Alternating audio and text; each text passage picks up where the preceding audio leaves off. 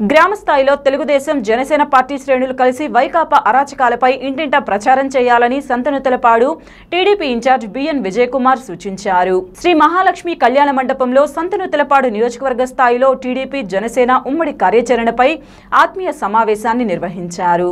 ఈ సందర్భంగా నాయకులు మాట్లాడుతూ అభిప్రాయ భేదాలు లేకుండా ఉమ్మడి అభ్యర్థిని గెలిపించుకోవాలన్నారు. బూత్ లెవెల్లో ఓటర్ల జాబితా పరిశీలన చేపట్టాలన్నారు. పద్దెనిమిది పంతొమ్మిది తేదీలలో అధ్వానం రోడ్లపై నిరసన తెలపాలని నిర్ణయించారు.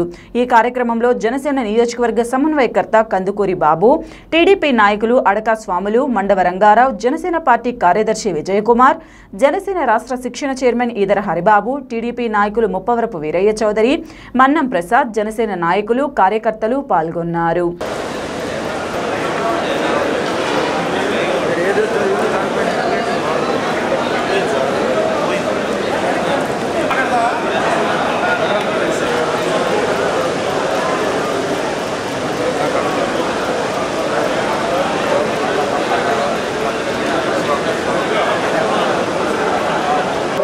పార్టీ కార్యక్రమాలు చేస్తున్న ప్రతిపక్ష నాయకుల మీద కార్యకర్తల మీద ఇక్కడ ఎవరికి పోరాటాలు పార్టీ పనులు పార్టీ జిల్లా పరిషత్ అధ్యక్షులు అనుభవానికి అదేవిధంగా రాష్ట్ర కార్యదర్శి స్వామి గారికి మా ఎక్స్ఐహెచ్సి చైర్మన్ పద్దుపాడు మండవ రంగారావు గారికి అదేవిధంగా ఇక్కడ విచ్చేసిన జన సైనికులకి జన వేరులకి అదేవిధంగా తెలుగుగా ఉన్నారు.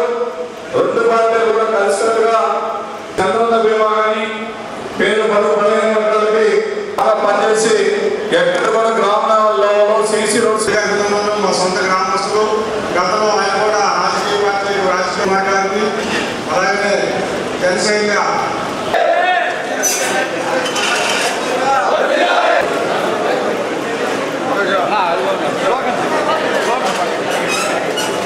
భవిష్యత్ భరోసా మనం అదొక మాట. మూడవది రాష్ట్రానికి గ్రహణం రాజకీయ గ్రహణం పెట్టి. చీకటి రోజుల్లో ఉన్నాం. ఈ చీకటి నెట్ట తొలగించుకోవాలి మనం ఎలా బయటపడాలి? ఇది మూడవ అంశం. నాలుగో అంశం జనసేన లక్ష్యం. జనసేన లక్ష్యం. మీ అందరూ కూడా తెలియపరచాలి.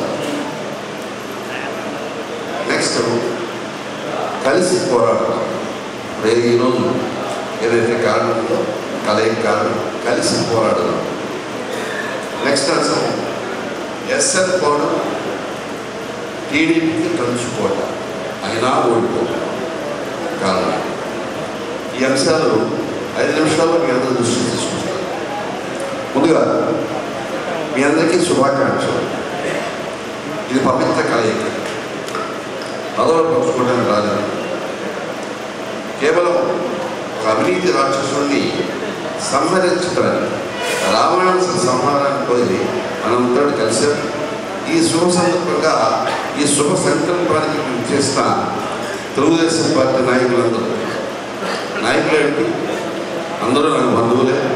వారందరూ కూడా నా శుభాకాంక్షలు తెలియజేస్తున్నారు అదేవిధంగా జనసేన పార్టీ స్నేహితులు కొత్త బంధువులు మీ అందరికీ కలిసి ప్రయాణం చేయబోతున్నాం కాబట్టి మీ అందరికీ కూడా ఈ సందర్భంగా నా శుభాకాంక్షలు తెలియజేస్తున్నాను.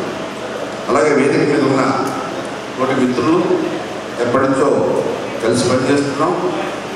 కుమార్ బాబు విజయ్ స్వామి రంగారావు ప్రతి ఒక్కరికి నా శుభాకాంక్షలు తెలియజేస్తున్నాను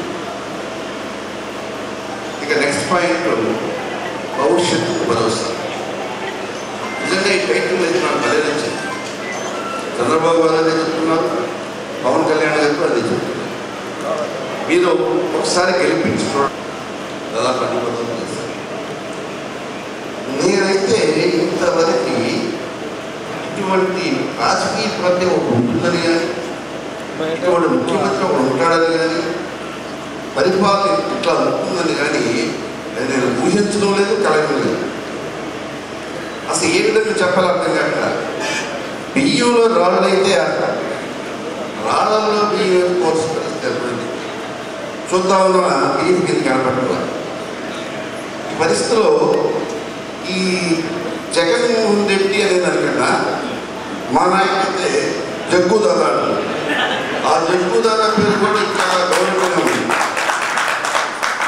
అసలు ఇతని గురించి ఎలా చెప్పాలో నాకు అర్థం కాదు the worst worst of the worst ఈయన మనిషి కాదు రాక్షసుడు కాదు జనసేన జనసేన తెలుగుదేశం ఈ రెండు పొత్తు పెట్టుకుంటున్నాయి ఉమ్మడిగా పోటీ చేస్తున్నాయి మనం గెలవబోతున్నాం ఇది ఆత్మస్థుతి ఎదురుగా ఉన్నది జగత్.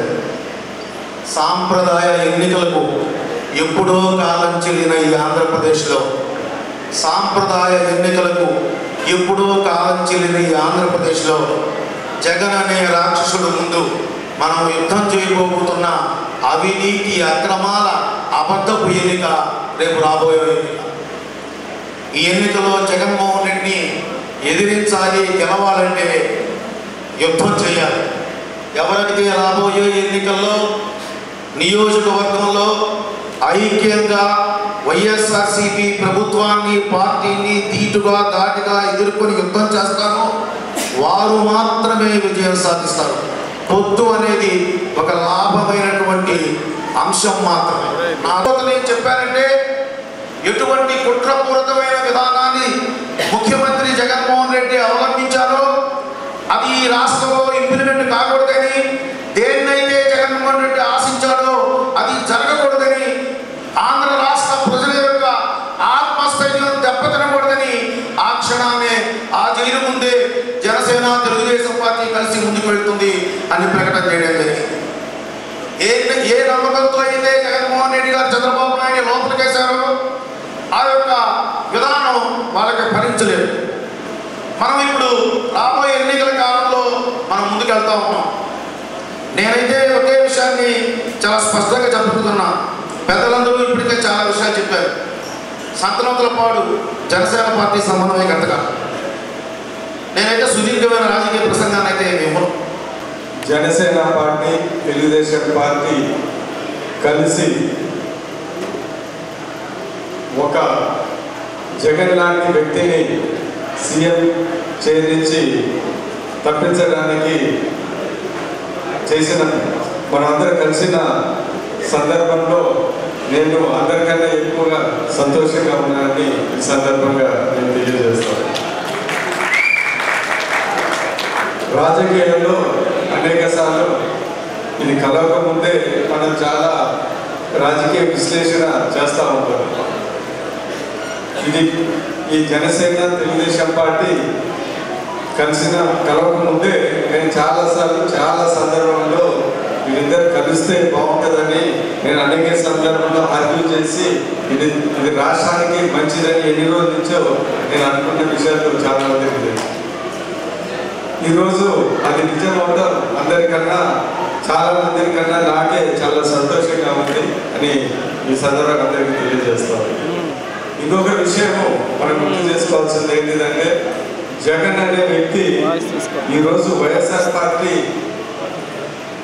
మన రాష్ట్రము ఎలా చేసిందంటే ఎవరు ఒక మూడు నాలుగు సంవత్సరాలు ఇలా ఊహించి మన రాష్ట్రం ఇలా అయిపోతుందని ఎవరు ఊహించుకో ఊహించుకోరు ఒక విధంగా చెప్పాలంటే ప్రతి ఒక్కరి మీద ఎక్కడ చూసినా అరాజకాలు ఇటు సోషల్ అరాజకీయాలు అంటే సాంఘిక అరాజకీయాలు దాని తర్వాత ఆర్థిక అరాజకీయాలు అన్నీ మనం గమనిస్తాం అటు దళితులు ఇటు బీసీలు చివరికి వస్తే అటు పవన్ కళ్యాణ్ గారి మీద ఇటు చంద్రబాబు నాయుడు గారి మీద కూడా ఈ- జగన్మోహన్ రెడ్డి వైఎస్ఆర్ పార్టీ అరాజకీయాలు చేసింది. ఆ రోజు పవన్ కళ్యాణ్ గారు ఏదో ఎవరైనా పరమించ పరామర్శించడానికి విజయవాడ వెళ్తా ఉంటే రోడ్లో ఆపేసి రోడ్డంతా ఒక కూర్చోబెట్టారు. ఒక మంచి ఒక మంచి ప్రజా నాయకుడు అదేవిధంగా ఒక హీరో అలాంటి వాళ్ళు ఎవరో కలవడానికి నువ్వు రానిపోవడం అంటే ఇది ప్రజాస్వామ్యమా ఏంటిదని మనం గమనించాలి. అదేవిధంగా చూస్తా ఉంటే చంద్రబాబు నాయుడు గారు ఒక నలభై ఏళ్ళ పైన ఒక రాజకీయ వ్యక్తిగా ఉండి మాజీ ముఖ్యమంత్రిగా ఉండి అపోజిషన్ లీడర్గా ఉండి ఆ రోజు ఒక అక్రమాల కేసులు పెట్టి ఇలాంటి పరిస్థితులు చేయటం మనకు అంతకన్నా ఇంకా ఈ రాష్ట్రంలో ఏ అరాజకం ఉండాలని మనం గమనించాలి. అదే కాకుండా ప్రతి విషయంలో ఇందాక బాబు గారు చెప్పినట్టు కందుకూరు బాబు గారు చెప్పినట్టు ల్యాండ్ విషయంలో మన ఒంగోలులో మనకు అర్థమవుతాం. చేసేవాళ్ళు ఒంగోలు వాస్తవులైనా ఈ ల్యాండ్స్ అని ఎక్కువగా మా కాన్స్టిట్యూన్సీలో ఉంటాయి భరించేది ఈ ఎఫెక్ట్ అయ్యేదంతా మా వాళ్ళు ఈరోజు ఇవన్నీ చూస్తూ ఉంటే ఒకటి మనకు అర్థమవుతుంది ఏంటిదంటే ఏంటిది ఇది ఇది రాక్షస పాలన కంటే ఎక్కువ. ఒక విధంగా చెప్పాలంటే ఏదో రావణాసుడు రాక్షసుడు. ఆయన ఎందుకంటే చాలా మంచివాడు చాలా కొన్ని మంచి మంచి విషయాలు రావణ రావణాసుడు కూడా చెప్పచ్చు. ఏదో ఆయన పెద్ద కవి అని పెద్ద ఏదో వీణ ఈయనకి ఏం చెప్పాలన్నా మాకైతే రావటం లేదు. నేను పెద్దకి అందరికీ సందర్భంగా తెలియదు ఏంటిదంటే చెప్పేది ఏంటిదంటే ఇప్పుడు ఉన్న నూట డెబ్బై ఐదు మంది ఎమ్మెల్యేస్లో అందరికన్నా మొదటి జగన్ తెలిసిన వ్యక్తి ఒక ముగ్గురు నేను చిన్నప్పటి నుంచి మా స్కూల్లో అక్కడ హైదరాబాద్లో జగన్ నాకు తెలుసు. సో సడన్గా పార్టీ మారినప్పుడు అందరికన్నా నేను మొదట వెళ్తారని అందరూ అనుకున్నాం ఎందుకంటే మాకు బాగా తెలిసి కాబట్టి చిన్నప్పటి నుంచి తిరిగారు. కానీ నాకు నేనే పెద్ద మేధావాన్ని చెప్పను కానీ నాకు ఏదో అర్థం అనిపించింది.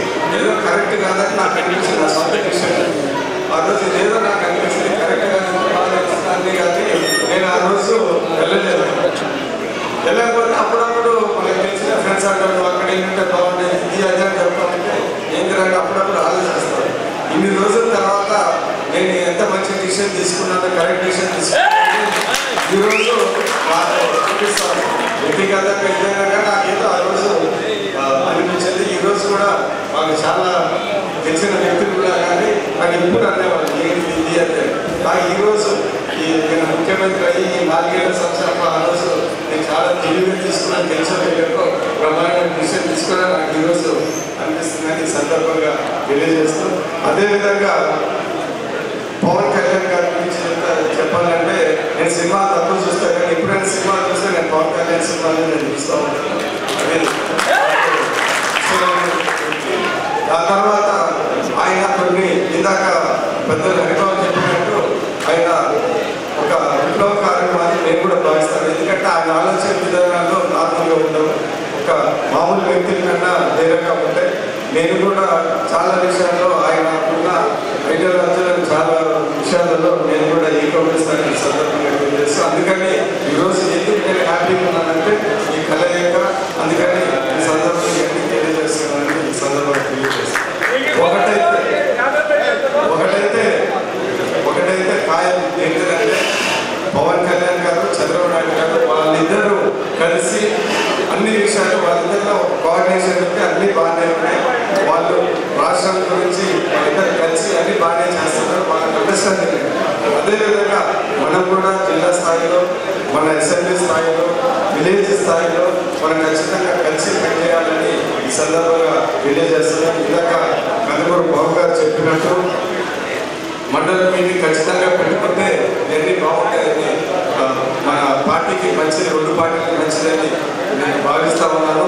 అదేవిధంగా విలేజ్ లెవెల్లో కూడా వాళ్ళిద్దరు ఉన్న లీడర్స్ కలిసి కనిపిస్తే బాగుంటుందని ఈ సందర్భంగా విలేజెస్ నేను భావిస్తా ఉన్నాను ఒకటి ఈ సందర్భంగా నేను చేశారంటే తెలుగుదేశం పార్టీ ఇన్ఛార్జిగా ఖచ్చితంగా రాబోయే కాలం మనం గెలవడమే కాకుండా గెలిచిన తర్వాత కూడా ఇలాగనే బాగా కలిసి ముందుకెళ్ళాలని మన కాన్స్టిట్యున్సీ అభివృద్ధిని మనందరం కలిసి చేసుకొని రాబోయే ఫలాలు కష్టాలు మనందరం పంచుకోవాలని ఈ సందర్భంగా తెలియజేసుకుంటూ ఇక్కడ చేసిన ప్రతి ఒక్కరికి నేను ధన్యవాదాలు తెలుపుతూ నేను ఒకటైతే మీ అందరికీ తెలియజేస్తున్నా జనసేన అంటే ఇద్దరిని నేను నా జాతి ఇంతవరకు అందరితో నేను బాగా కలిసి మా వాళ్ళు మాత్రమే నేను కలిసి చూసుకుంటానని